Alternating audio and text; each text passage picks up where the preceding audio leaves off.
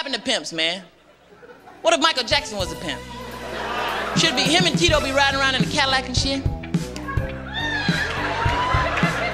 Slow down, Tito.